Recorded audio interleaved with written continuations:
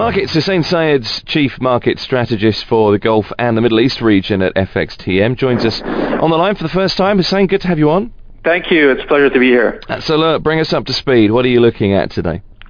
So, in fact, you know, I, w- I was still looking at liquidity because it has been very dry for the month of August. I know uh, vacation, but it, is, it was lowest in almost like uh, uh, almost a decade. However, today we saw the index in Dubai falling below 3,500 benchmark for the first time in almost three weeks, uh, with the with the uh, financial, industrial, and consumer cyclical sectors being weighing on this sector. However, it was interesting just to analyze the correlation with what's happening in oil. Uh, for example, in July, stocks correlation with oil was almost negative, but we saw this picking up in in, uh, in August. Uh, but however, markets you know are still looking outside what's happening on the international uh, uh markets, and I think you know traders and investors will still uh, uh, look what's happening in the U.S. indices, European indices, and this is where taking their cues from. when we look at the international markets, I think oil has been making headlines for the past couple of days.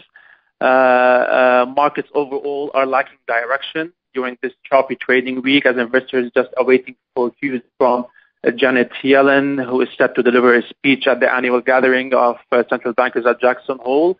everybody's trying to find hints on the timing of the next U.S. interest rates rise.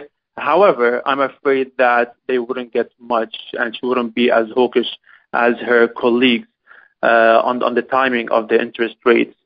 And the currency news, uh, we saw some kind of dollar strength. It was slight uh, on Wednesday after falling yesterday, but was unable to break out uh, of its recent trading ranges as investors continue to focus on what Janet Yellen has to say.